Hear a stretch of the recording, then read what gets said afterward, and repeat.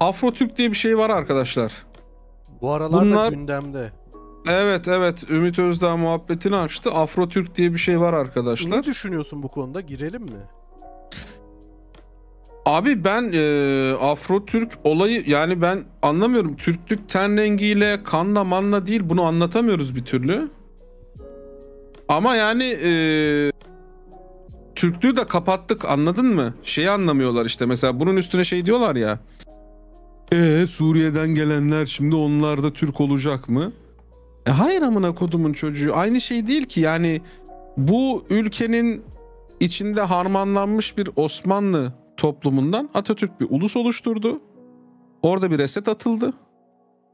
Ve o zamana kadar olup ondan sonra Türkiye Cumhuriyeti'ni benimseyip orada yaşamaya devam eden insanlar tabii ki Türk oldular. Ama zaten oluşmuş bu demografinin üstüne başka bir demografi sıçtığın zaman o Türk olmuyor yani. Anlatabiliyor muyum? Bir tık farklı düşünüyorum abi ya. Buyurun sizi dinliyorum. Abi şöyle düşünüyorum. Şimdi Atatürk'ün eee, milliyetçilik anlayışı dediğin gibi eee, daha ziyade Ziya Gökalp şeyinden geliyor. Türklüğün bir kültür e, mirası olması. Ya bu mirasa da diğer etnik grupların vesairenin ortak olabileceği eee, ve bugün anayasal bağlamda etnik kökenine falan bakılmaksızın eee, herkesin Türk olarak tanımlandığı bir tablo var. Ama biraz bana şöyle geliyor abi.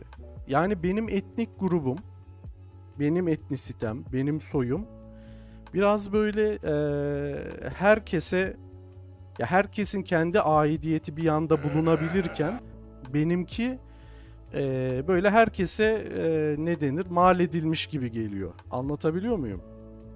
Tamam ama mesela ben babamın soyuna bakıyorum.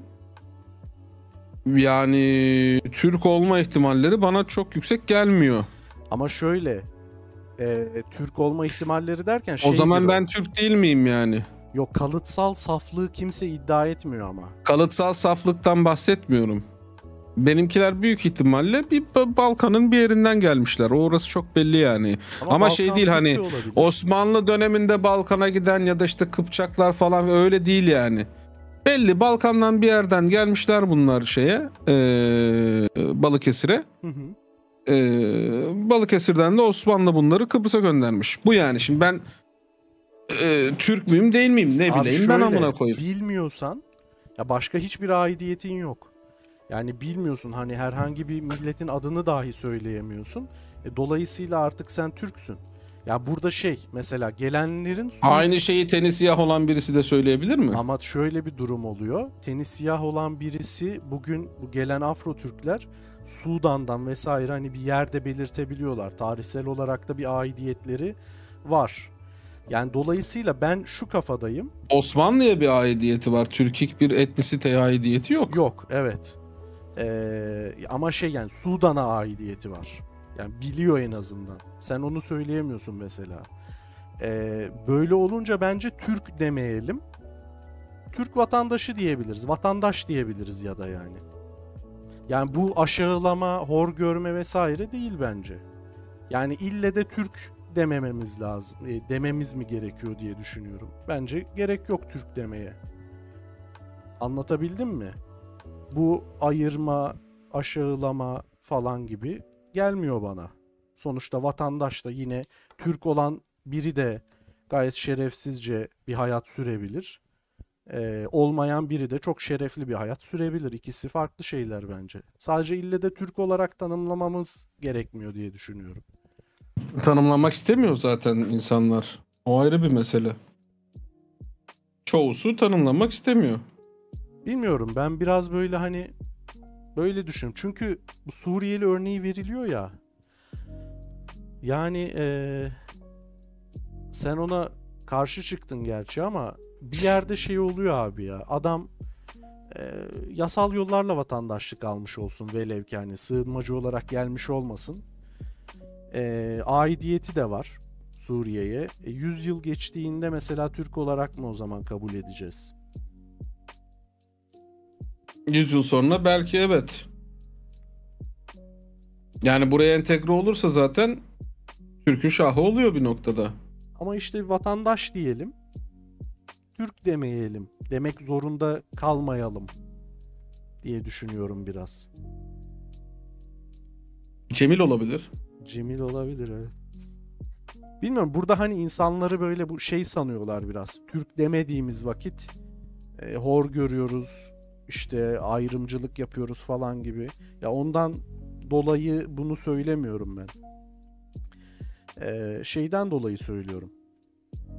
Yani ille de benim Roman olsun. etnisiteme Ha, pardon. İnsanlar yani e, o, o adla anılması bence zorunlu olmamalı. İlteriş Yabgudon. Ha, ama bu dediğim başka türlü bir sorunu da doğurabilir.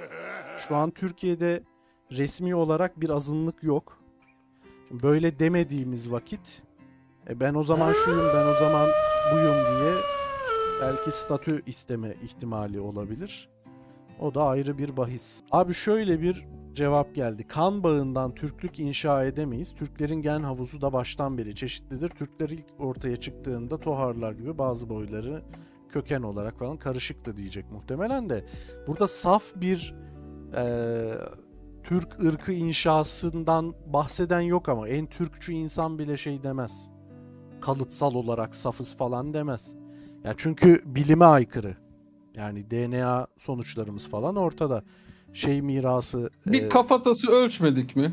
Abi kafatası ölçümü değil DNA sonuçları bu konuda en iyi iş yapıyor. Onda da en aşağı %30 %35 e, şey sonucu alıyoruz. Doğu Asya e, genimiz, e, Asya mirasımız var üzerimizde. Ki bu oran şey değil.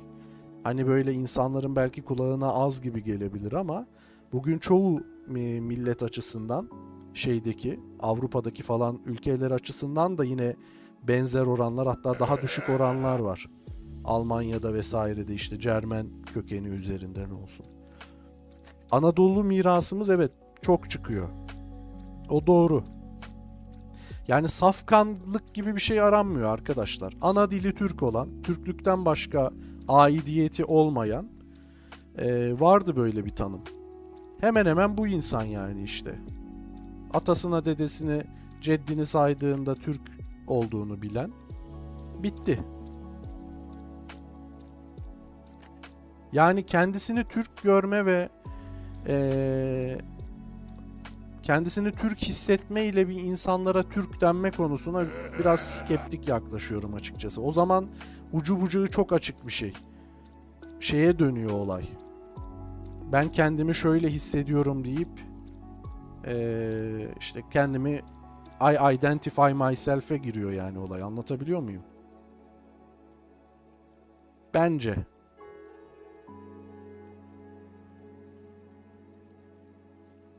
Doğru katılmayabilirsiniz arkadaşlar. Fikir teatisi yapıyoruz. Sizin bileceğiniz iş.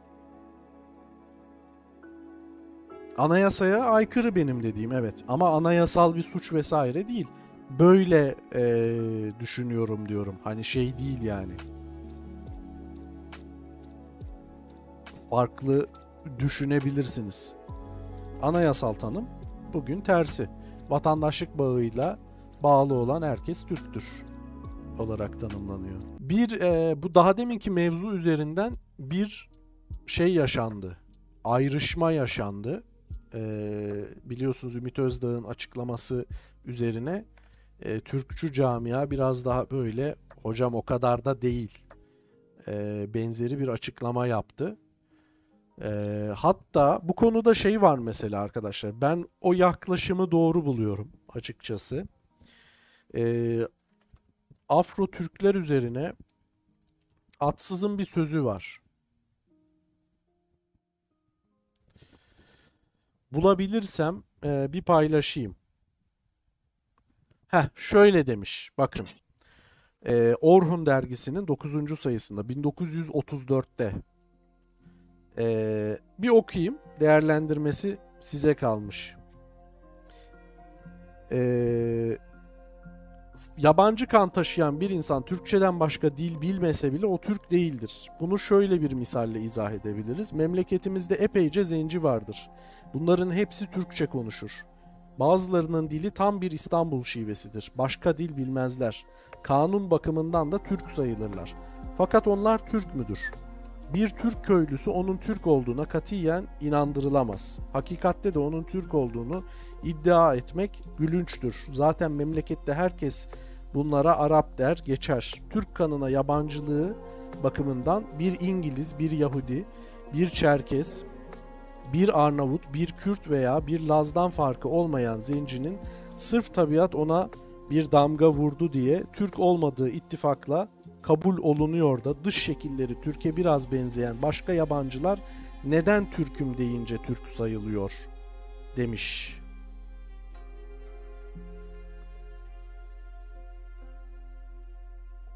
Böyle bir yaklaşımda bulunmuş. Yani burada farklı fikirler mevcuttur. Bu 1934 yılında eee, yazılmış bir yazı. Bu arada onu da bir daha hatırlatayım. Doğrudur bayağı karşı çıkan var. Belki de şeydir yani. eee, çoğunluk aykırı düşünüyordur. Bilemem. Yani bunu darlamak için sizi paylaşmadım. Hani bu konuda zamanında da böyle bir görüş düşünülmüş diye paylaşmak istedim sevgili arkadaşlar. Yani kimisi kıymetli görür, kimisi görmez. Her şeye okey yani.